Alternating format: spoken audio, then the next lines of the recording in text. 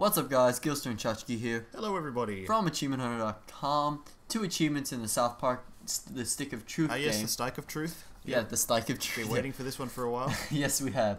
Yep. This is the acceptance achievement. The um the achievements are acceptance, and I made this especially for you. It's not the name of the achievements, but I made it especially for you. yeah. Oh, thank you. It's alright. I, I really do appreciate it. This first one is the acceptance one, and it's pretty much just accept the name that Cartman gives you at the start of the game. Which is douchebag. Yes, being you just- Cartman.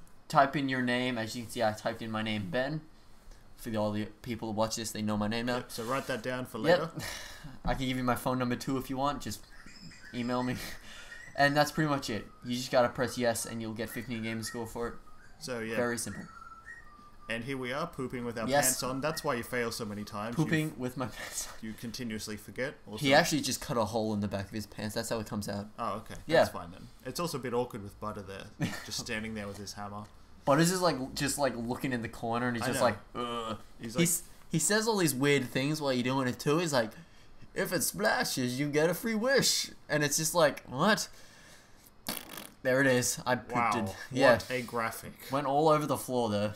Then What- you got to pick it up. Like what a what a graphic for um. yeah, I haven't I haven't even explained this achievement. This achievement requires you to throw a piece of shit at someone or a poop, whatever you want to call it. Oh, that sounds easy enough. Yeah, it is. Yeah. So this is me just Here fighting.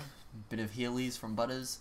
So apparently, it, this would be Full way hammer. easier if you don't do it in the tutorial level. Yeah, I've, I found that out a bit late. Because you you told me that you were struggling because the whole time you kept trying to select the poo, but it wouldn't let you. it wanted wouldn't let me because it's telling me I have to do certain things, which is really annoying. Oh, that guy just hit Butters. That's not very nice. So I don't know what's going down in this town where everyone is just um It's they're just playing like this RPG game to get the stick of truth. they're hitting each other with There hammers. That's what it is though. 15 gamer score though. Pretty simple. Visit achievement.com for more videos. Bye bye.